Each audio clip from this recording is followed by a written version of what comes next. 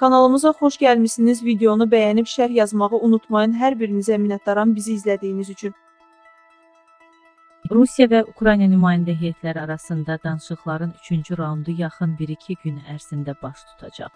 Report RIA Novosti istinadən xəbər verir ki, bu barədə Ukrayna prezidenti Volodimir Zelenskinin ofis rəhbərinin müşaviri Mikhail Podolyak bildirib. Görüş növbəti 1-2 gündə olacaq. Biz digər məsələlərlə yanaşı danışıqlar prosesinin bir hissəsi kimi lazım gələrsə düzəlişlər etmək üçün humanitar dəhlizlərin necə işləməyə başladığını qiymətləndiririk, o deyib.